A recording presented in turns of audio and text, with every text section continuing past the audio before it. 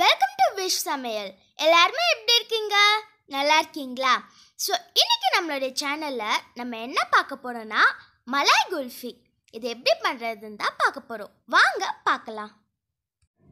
First kulfi செய்வது எப்படின்னு பார்த்துக்கலாம். ஒரு litre fat milk full fat மில்க்கை எடுத்து இது மாதிரி காய்ச்சிக்கோங்க. அதில் ஆடை வந்துட்டே இருக்கும். அதை இது மாதிரி பண்ணிகிட்டே இருங்க.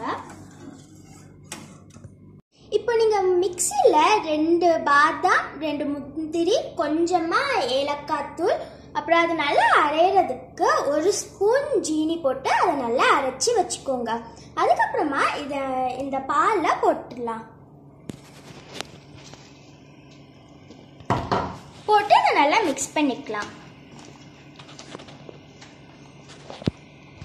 இப்போ பால் இது மாதிரி நல்லா சுண்டி வந்ததுக்கப்புறமா ஒரு பெரிய ஸ்பூனில் நாலு ஸ்பூன் சுகரை இதில் ஆட் பண்ணிக்கலாம்.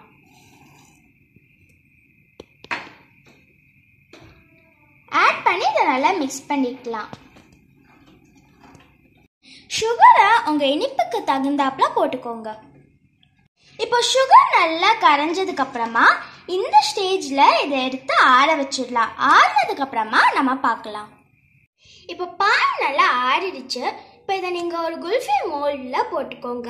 உங்ககிட்ட குல்ஃபி மோல்டு இல்லைன்னா சாதா டம்ளரில் கூட நீங்கள் போட்டுக்கலாம். இது மாதிரி டம்ளரில் போட்டுக்கோங்க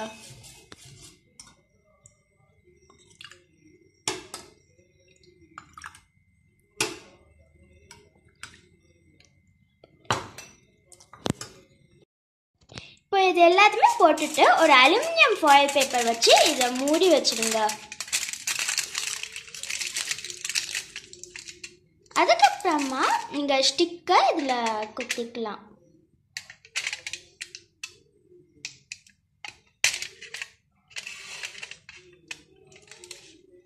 இப்போ இது எல்லாத்தையுமே கவர் பண்ணிட்டோம். இப்போ ஒரு எட்டு மணி நேரத்துக்கு ஃப்ரீசரில் வைங்க. ஃப்ரீசரில் வச்சதுக்கப்புறமா குல்ஃபேஸ் எப்படி வந்திருக்குன்னு நம்ம பார்க்கலாம். இப்போ நம்ம மலாய் குல்ஃபே எட்டு மணி நேரம் ஃப்ரீசரில் வச்சு எடுத்துட்டோம். இப்போ இதை நம்ம தண்ணியில் போட்டு வச்சிடலாம். இப்போ இதை தண்ணியில் போட்டு எடுக்கலாம்.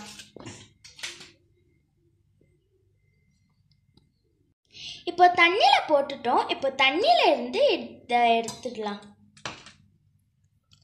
எடுத்து இது மாதிரி பண்ணிக்கோங்க. இது எவ்வளோ அழகாக வந்திருக்குன்னு பாருங்க. இப்போ இந்த மலாய் குல்ஃபி சூப்பராக டேஸ்டியாக ரெடி ஆயிடுச்சு. நீங்களும் உங்களுடைய வீட்டில் இந்த ரெசிபியை ட்ரை பண்ணி பார்த்து எப்படி இருக்குன்னு மறக்காம கமெண்ட் பாக்ஸில் கமெண்ட் பண்ணுங்க. இப்போ உங்களுக்கு இந்த வீடியோ பிடிச்சிருந்துச்சுன்னா விஷ் சமையலை லைக் பண்ணுங்க ஷேர் பண்ணுங்க சப்ஸ்கிரைப் பண்ணுங்க. அப்புறம் மறக்காம கூடவே இருக்கிற அந்த பெல் ஐக்கானையும் கிளிக் பண்ணிடுங்க. இன்னொரு வீடியோவில் உங்களை நாங்கள் சந்திக்கிறோம். பாய்